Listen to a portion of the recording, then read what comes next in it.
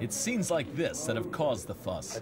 Politics is a rough old trade, and politicians worth their salt usually stand up pretty well to the slings and arrows of straightforward hostile media treatment.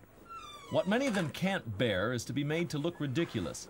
But whether heavy handed legal action will remedy that remains to be seen. It just might prove to be a rubber crutch. NTV joined battle by pressing the dummies into action at a hurriedly called news conference. NTV President Malashenko threw down the gauntlet to the government. I think there is a, a direct link, a direct correlation between this uh, case, between this criminal investigation by General Prosecutor's Office and uh, coming election, election campaign.